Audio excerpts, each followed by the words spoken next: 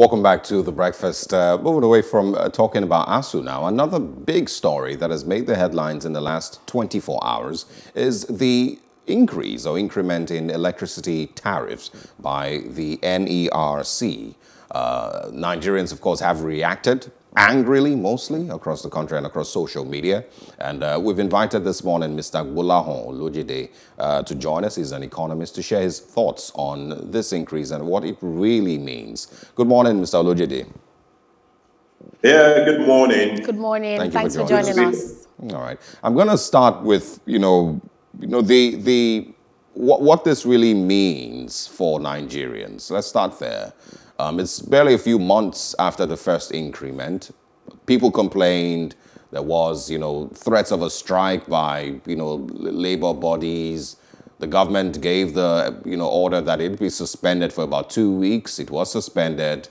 Before, you know, we woke up in the morning, it was brought back again. And now there's another increment. How does this, you know, really, really sit, you know, with Nigerians? Um, it, it, it, it's a tough situation, and uh, definitely is going to increase the cost of living in in Nigeria generally. Um, having said that, I also like to make some comment um, from a reportage point of view. Um, you had a report that said, "Oh, it was increased by 50 percent."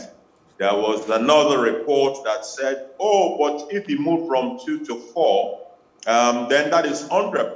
It is not uh, 50%. I think the, the, the first place to start is a correct reporting. There is nothing like either a 50% or a 100% increase because there are five different bands, or maybe even more, of electricity tariff. And they are not increased at the same rate across those bands. In fact, the last two bands, which I think is uh, maybe band D and E, D and E, yes. are not even increased at all.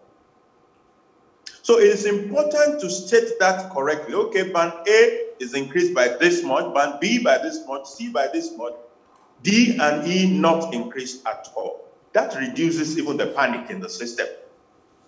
Then we now talk about okay, for those that have been increased, what are the implications? Of course, increased cost of living. Should we increase it? Is the timing right? Is it not right? Those are other discussions we can have around. Yeah, but, but is this, you know, like people have described, is this insensitive or inevitable? I, I don't think insensitive is the right word. Um, in, in, in, my opinion, um, government has not done enough as far as educating the public about how that space works. Number one. Number two is that um, we, if we're going to go along that path, we may as well also consider some other things that will cushion the effect. Here is it. If we say we remove the subsidy from electricity, um, electricity, there's a template for arriving at the price of what electricity should cost. So one of the inputs, just for simplicity, one of the inputs in that template is the currency exchange rate. What that means is that at any point in time when it is due for a review, if that currency exchange rate has moved from say 300 to 350, automatically we will be expecting an increase in electricity tariff. That is what it means. And it is important that we understand this. Yes. Otherwise, the temptation is to say, let's go back to the subsidy regime and let's go back to how NEPA has been for the past 40 years. It's always an option. But for me, I think we need to move forward, not go backward, and look for other ways of cushioning the effect of the rising prices on the populace. Hmm. We'll delve into just how much this electricity tariff will affect a cross-section of Nigerians. But I'd like to mention that I appreciate you making that distinction because uh, the Minister of uh, Labour and uh, Employment, Festus Keyamo, did clarify that, according to him, it was not a hike, that what they simply did was to adjust the bands, freeze certain bands, you know, because the bands are A to E, and to adjust it such that some people who were not paying what they, so that such that people people would pay what they should be paying. But let's look at uh, the reasons for this. I mean, they gave a plethora of reasons why the NERC is increasing the tariff. They say there's a 14.9% inflation uh, rate in November 2020. They're saying that uh, the foreign exchange rate of 379 naira to a dollar uh, as of December 29, 2019, uh, 2020. They're talking about available generation capacity. They're talking about U.S. inflation rate of 1.2%. They also stated uh, capital expenditure. So many reasons they gave as to why this increase is happening at this time, just three months after they increased it. Uh, so, in your opinion, Mr. Olojede, is this justified, seeing that we are in the middle of a recession and Nigerians aren't having it easy regarding finances? Okay, um, I, I hear you loud and clear. You see, part of what I was trying to describe earlier was how is this electricity pricing supposed to be arrived at in the first instance? The way it is arrived at is that there are certain variables. So there's a template, and there are certain variables that goes into determining what should be the price. So you have just some of those things that Keyamo was uh, listing were the variables, were some of the variables that goes into that template. Let's assume for simplicity that it is not five or six variable, that it is only one variable. And that one variable is currency exchange rate. Automatically, when that currency exchange rate goes up, like you have a situation at some point when currency moved from 306 official rate to 36, it automatically means that that price will be adjusted at the agreed time for adjusting the price.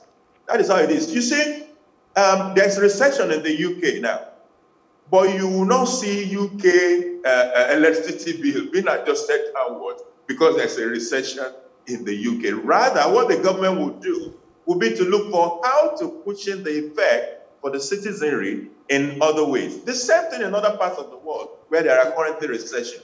So um, we may need to resist the, the temptation to go back to Egypt. Rather, look for how to soften the land for the people. Yeah, I'm guessing that's one of the reasons, you know, people would describe it as it's insensitive. It's not, you know, because, you know, Nigerians wouldn't understand that, yes, you know, certain factors uh, would determine and would lead to increments here and there. But if there is no um, um, uh, ways to cushion the effects of you know these increments, Nigerians will always describe it as insensitive. Uh, mostly, of course, because we're in a recession, the economy is bad, businesses have suffered lately, we're in a pandemic and all of that. Ms. Olojede, I'm sure, I don't know if you, you know, expect that there would be any ways that the government will cushion the effects of these increments. And second, do we ever get to see a time when the, you know, the exchange rates you know, become maybe a little less, and the rates of that we, Nigerians have to pay for electricity also are reduced? Uh, well, um, the, the, the first question was um, that because uh, it, it, it is tough, I, have almost forgotten my, my line of thought now. Um, the, the, the, the factors, okay, that will there be a way to cushion it for Nigerians? Yeah, do you expect? that that would happen? Yeah, yeah, I brought that up, that part of the discussion, because we may need to refocus the fight so that the fight is not for us to say, go back to subsidizing electricity. The right fight should be for us to demand for certain things that will help to cushion the harsh effect of what is going on. So you can see that there's a change in that focus now. It's not go and reduce that electricity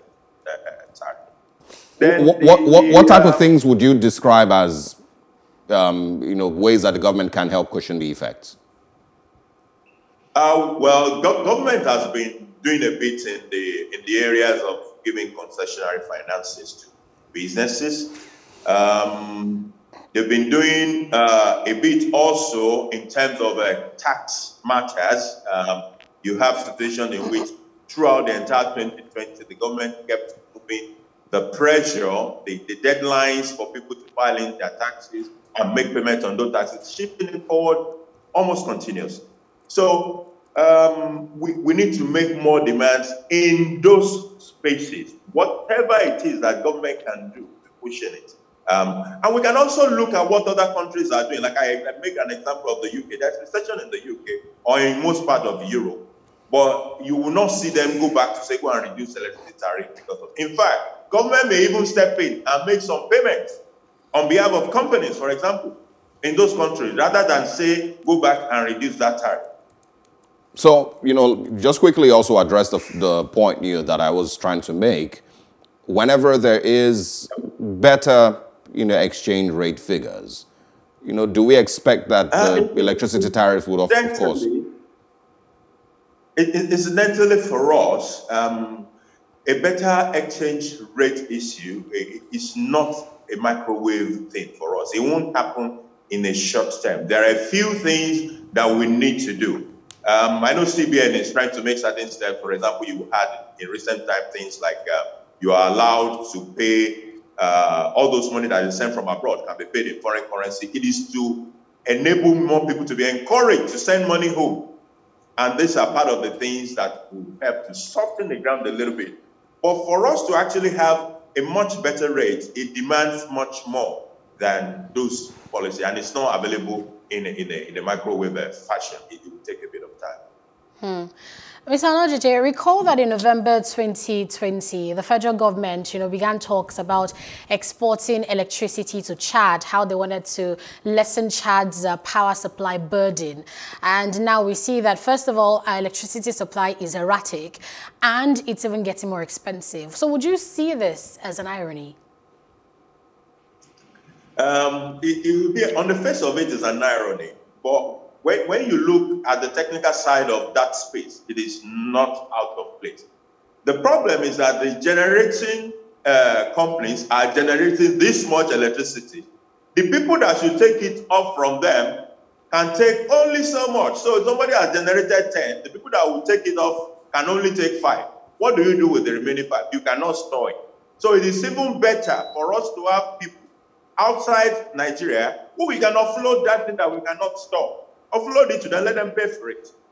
Hmm. While we show up our own transmission and distribution capacity to be able to take what the generation companies are, are producing.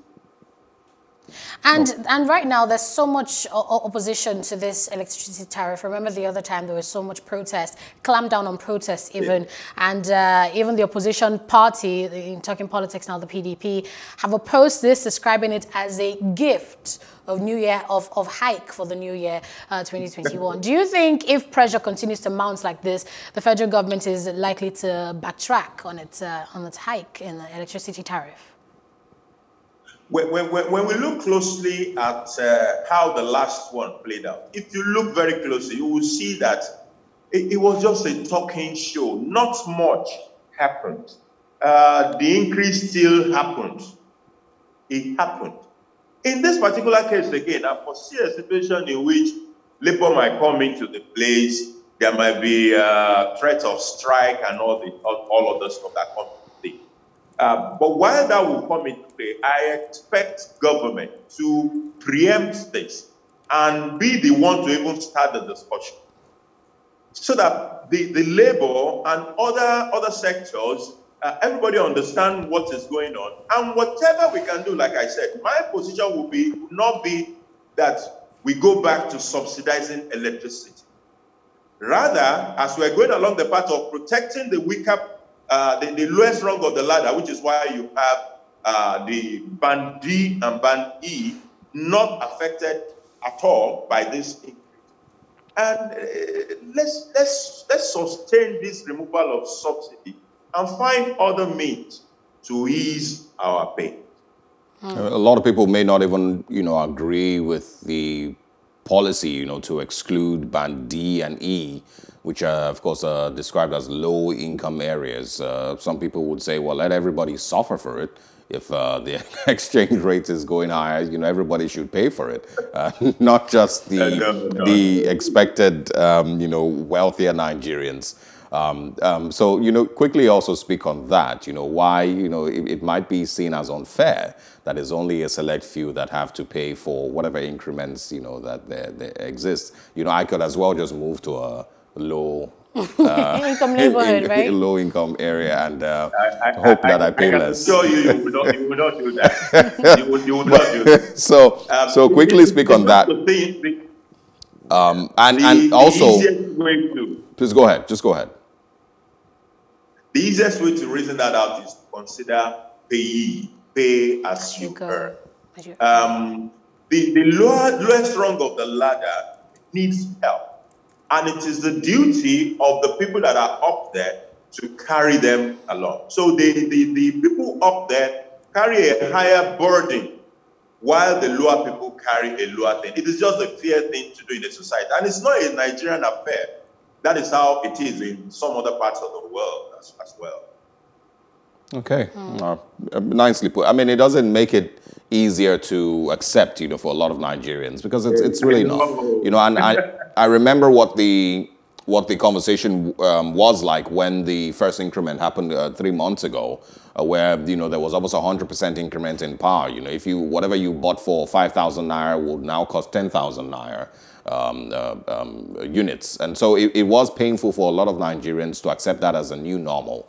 Um, and I know that this would also not, you know, be easy. So, um, Ms. Olojede, like you mentioned, uh, things that can cushion the effects. Um, I hope that the Nigerian government actually does take those things seriously um, and not just continue to make these increments and turn the other, you know, turn face the other way. But, but Osarage, the NERC has said that from June 2021, electricity tariffs would go higher.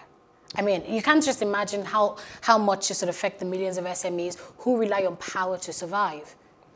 We'll figure it out. Gbolahan Olojede, thank you so much. thank you so much for joining us.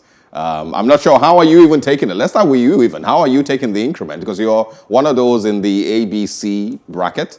Uh, how are you handling it? Uh, well, it's, it's not fun. Um, unfortunately, it's, it's, it's, my wife that takes care of electricity. So oh, okay. uh, I'll ask her how she's feeling about We'll make sure to have her on the show next time. we should have invited invited your wife on the show then. Thank you so much, Thank you again. Good morning to you. It's my pleasure. Thank you. All right. Stay with us here on The Breakfast. We are going to be talking next about COVID-19. The yes. uh, Nigerian government has approved that uh, gas oxygen plants be built in all states across the Federation. Um, and it's also a great way to get into the conversation about how serious it really is across Nigeria today. Stay with us here on The Breakfast. Good morning.